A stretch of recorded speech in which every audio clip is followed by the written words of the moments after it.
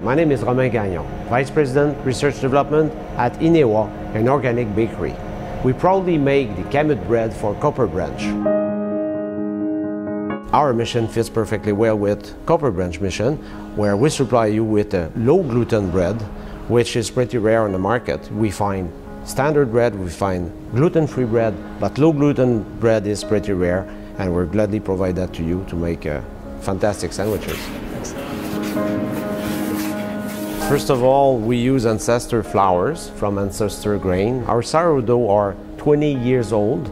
Each day we use the quantity that we need and then the rest we remix it the same day with flour and water and the past bacteria inoculate the new sourdough and that makes a distinctive flour because that has been developed over this 20 years time limit. Today's business, today's industry is always about time, you know, like we always want to do things fast. At Inéwa, we're one foot in the past and one foot in the future, where we take the time to let the dough ferment, to let the sourdough do its action, but on the other hand, we use modern concepts like air filtration to lengthen the shelf life.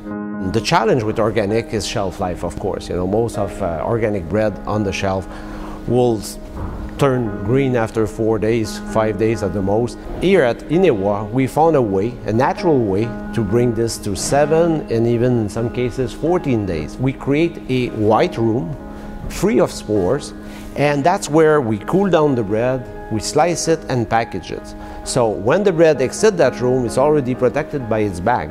But no spores in the meantime contaminate the bread, and that will make the shelf life much longer.